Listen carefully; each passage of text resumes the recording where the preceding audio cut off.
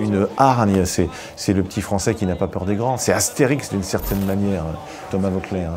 Qui, se bat contre vents et marées, qui va jusqu'au bout de lui-même, sans avoir les qualités physiques des plus grands. Mais cette hargne, cette volonté absolument fabuleuse, et puis évidemment ben, il y, a le rêve de 2011 où on s'est dit à un moment, mais, jusqu'où va-t-il aller? Ah, il faut s'accrocher Thomas. mais il va s'accrocher. La France entière, bonhomme. La France entière est là, derrière toi. Allez Après 2004, j'ai jamais pensé revêtir le maillot jaune. C'est le retard aujourd'hui de Thomas Vauclair sur Andy Schleck.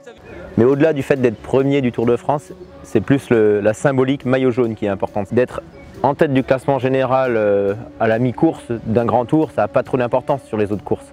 Alors que sur le Tour de France, c'est le fait de porter le maillot jaune, ne serait-ce qu'un jour, qui, vaut euh, n'importe quelle victoire. Derrière ce trio de tête emmené par Thomas Vauclair qui ne pense qu'à une chose, le maillot jaune désormais, Laurent Belay. Thomas Vauclair, euh, il, euh, lui, hein, il, pédale pour faire l'écart au, général, il ne calcule pas. En 2011, il n'en était rien. Je suis allé chercher ce maillot jaune, je n'ai pas, pas, honte de le dire aujourd'hui. Je suis allé chercher ce maillot jaune, on ne me l'a pas laissé. Donc à la dixième étape, on s'est dit, bon, là, il y aura peut-être un changement de maillot aujourd'hui. Je pensais pas forcément au maillot, mais je voulais être devant sur cette étape. Et à tel point que j'avais demandé à mes équipiers, dans les 50 premiers kilomètres, euh, que moi je n'ai à faire aucun effort et que je voulais qu'il n'y ait aucune échappée qui soit partie jusqu'au premier grimpeur de la journée. Et euh, contrairement à 2004, j'ai fait un choix au cours de l'étape en concertation avec mon directeur sportif Qu'est-ce que je fais? Est-ce que je joue l'étape sans être sûr de la gagner ou est-ce que je joue le maillot jaune en faisant énormément d'efforts? Il a répondu ce que j'avais envie d'entendre. Écoute, tu as gagné une étape l'an dernier, euh, fais tout pour le maillot jaune. Surprise. En tout cas, la très bonne surprise, c'est Thomas Vauclair à gauche de la route. C'est Pierre Roland juste au milieu. On se jauge, on se regarde. Il en revient pas Thomas, il regarde un petit peu les autres. C'est parti pour Andy Schleck et c'est Thomas Vauclair qui répond avec son maillot jaune. Il est extraordinaire. Thomas Vauclair extraordinaire. mais il a raison, il a raison d'y croire. C'est le seul qui peut suivre Andy Schleck à l'instant même. Oh là là, c'est du grand Vauclair. Et attaque de Thomas Vauclair qui vient en contre derrière Jean-Christophe Perrault et Ivan Massot. Vauclair est sorti,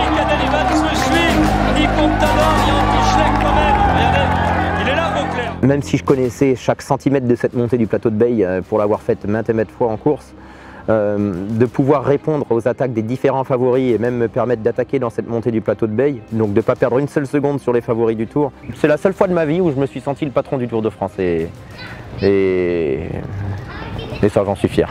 Le maillot jaune donne des ailes mais il peut aussi euh, altérer le jugement. Thomas quand même. Ah, on sait que c'est un formidable descendeur, un casse-cou. Il dit toujours, moi là, je Bien que n'ayant pas reconnu cette descente, je me suis, j'en avais pas assez. Je me suis dit, j'ai le maillot, ben, je vais essayer de prendre encore de l'avance. Avec le recul, c'était stupide parce que euh, après cette descente, il y avait encore du plat jusqu'à l'arrivée. Donc même si j'avais réussi à prendre un peu d'avance sur les favoris dans cette descente, ils m'auraient rattrapé dans le plat avant l'arrivée. Donc c'était une prise de risque inconsidérée. Et j'ai frôlé la catastrophe parce que là où à un moment je, sors du virage euh, et je vois il y a un parapet d'une soixantaine de centimètres à sauter. bon, je vous avoue que j'ai fermé les yeux. Je suis sorti du virage, j'ai fermé les yeux, j'étais debout sur le vélo euh, en serrant les freins et, et après je rouvre les yeux, je suis toujours sur le vélo. Et là, c'est un miracle parce que si c'est un fossé, c'est la même chose. Si c'est un mur, c'est pareil. Donc là, j'avais ma bonne étoile avec moi, j'ai réussi à reprendre la route, j'ai perdu euh, une trentaine de secondes, ce qui est un moindre mal. Euh, Contador attaque très tôt dans l'étape, dès le télégraphe. Euh, moi, je réponds tout de suite, j'étais pas trop bien placé, j'ai les jambes pour revenir dans leur roue, je suis très bien placé dans la route Cadel Evans, et là, je, vois Cadel Evans qui s'écarte. Et donc, je me suis dit, bah, s'il y a une petite chance, c'est aujourd'hui. Et j'ai cravaché tout le télégraphe Galibier pour essayer de rattraper Contador et, et Andy Schleck qui était parti. Tout seul dans l'ascension du Galibier.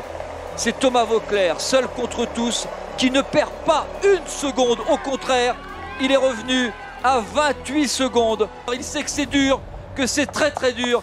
Il n'a plus que 28 secondes de retard sur Alberto Contador et Andy Schleck. Il est tout simplement à ce moment-là héroïque, il les aperçoit, il cogite, il se met en danseuse. C'est vraiment une Et puis euh, ben voilà, je bagarre, je bagarre et jusqu'à ce que je comprenne. Thomas Veuclair est, en train de, lâcher prise, c'est de plus en plus dur pour Thomas Veuclair, on l'a vu à l'instant, la grimace. J'aurais peut-être dû l'apprendre par, euh, bah, par mon staff, qu'il y avait l'équipe BMC très organisée derrière et que j'étais en train de lâcher des forces pour rien. J'ai limité la casse comme je pouvais, mais je perds le maillot. Euh, jour-là. Je sais que j'ai lâché un jour où j'aurais dû le garder si je ne m'étais pas planté au niveau stratégique.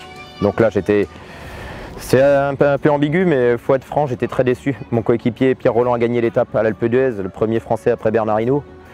Mais euh, même si c'est un ami à moi, Pierre Roland, euh, j'avoue que ce jour-là, euh, bah, j'étais, dégoûté. Celui qui n'a pas porté le maillot jaune ne peut pas comprendre euh, à quel point on peut trouver des ressources pour, euh, si toutefois on a envie d'être digne de ce maillot jaune, on trouve des ressources insoupçonnées que j'aurais jamais été capable de faire ce que j'ai fait si j'avais eu, euh, si j'avais pas eu de maillot jaune sur les épaules. Le à, jour égal, à condition physique égale. euh, bon, je préfère avoir porté le maillot jaune 10 jours et faire quatrième que de faire deuxième en suivant tout le temps.